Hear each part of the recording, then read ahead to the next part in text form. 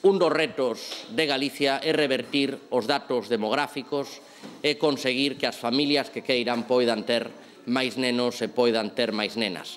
É fundamental o apoio de todos, o apoio das administracións, pero tamén o apoio das empresas. Hoxe a conciliación é un dos retos fundamentais non só no ámbito público, senón no ámbito privado, para que fundamentalmente as nais se decidan aternenos e aternenas. Polo tanto, vamos a seguir traballando, vamos a seguir traballando xuntos nese obxectivo, nese obxectivo de que Galicia sexa o mellor lugar para ser neno, o mellor lugar para ser nena, porque ese é o noso futuro. Ese é o noso futuro e por eles vamos a seguir apostando.